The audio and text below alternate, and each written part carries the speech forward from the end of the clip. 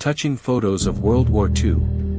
The sadness of people when France, which had held out in World War I, was quickly conquered by Germany. A girl named Kazimiera Mika cries over the body of her sister who was shot by German machine gun while picking potatoes in a field in Poland. As an orphan, he joined the German army to survive.